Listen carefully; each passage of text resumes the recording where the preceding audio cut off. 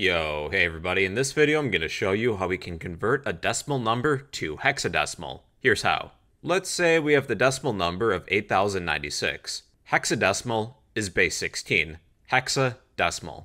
With our decimal number, all we gotta do is repeatedly divide this number by 16. We'll take 8096, divide this by 16.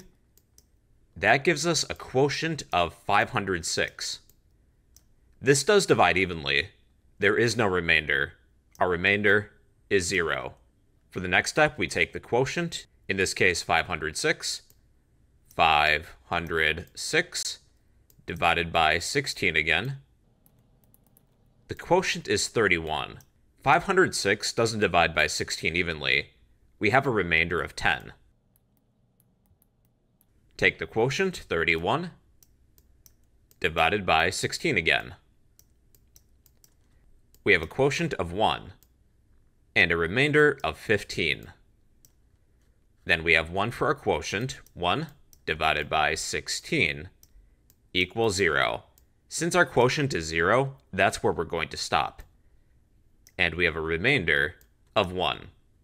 We have to take all the remainders to get our hexadecimal number.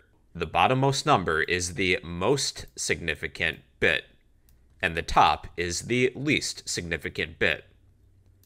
With our remainder values, they can only be single digits. Here we have a 10 and a 15. According to this chart, we have 0 equals 0 all the way till 9 equals 9. We have single letters to represent numbers. A corresponds to 10, B corresponds to 11, all the way till F, which corresponds to 15. 15 is actually F, 10 is A.